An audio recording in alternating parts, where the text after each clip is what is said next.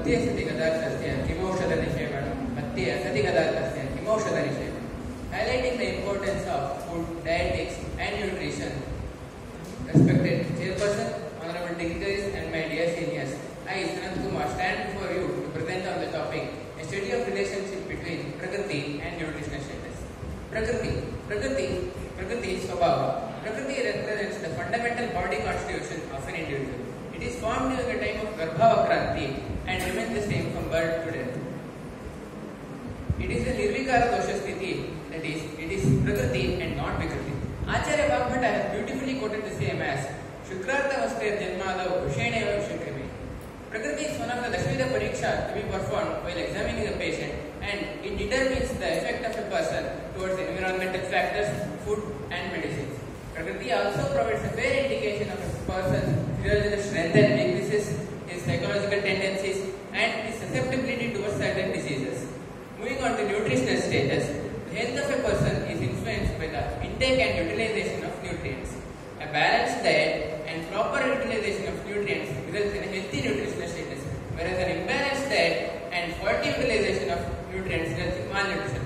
Malnutrition is further of two types, overnutrition and undernutrition. Moving further, as we know, Ayurveda the principle of Pratipurusha Siddhanta. And in case of malnutrition, imbalanced diet is one of the cause. So, to advise the diet, in the, with, with the food diversity that we have, which is topic for this international congress, consideration of Prakriti becomes very important. The research design that this study follows is casual, with cause and effect relationship. The cause independent variable being Prakriti, which affects the dependent variable nutritional status. Sampling that was purposive sampling.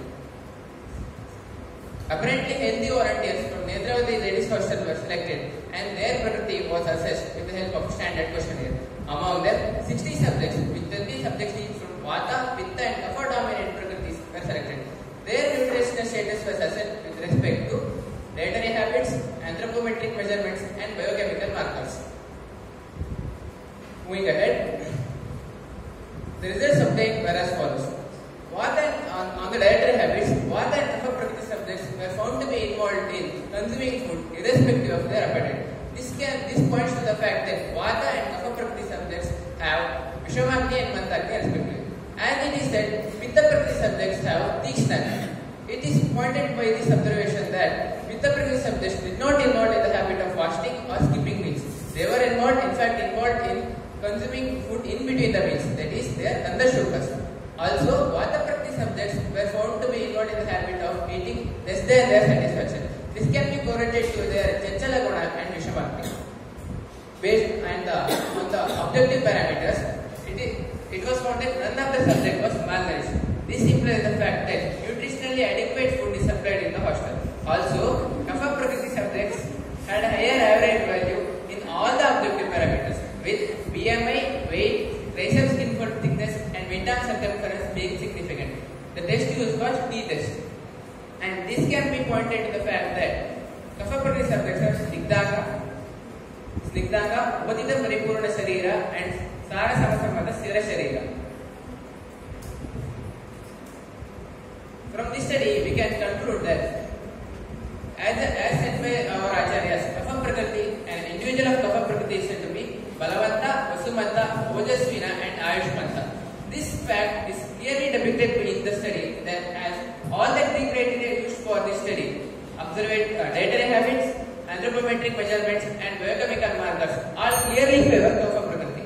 And so we can clearly conclude that a person of Kapha Prakriti is said to be having a better nutritional status. Clinically, in case of treating malnutrition, due concentration must be given to Vata and Pitta Prakriti as they are more tendency towards malnutrition. Malnutrition in Kapha Prakriti can be easily treated. Also, From further research can be done taking a larger sample size, considering Dvandvaja and Samaprakriti, taking more of more anthropometric and biochemical markers. Thank you.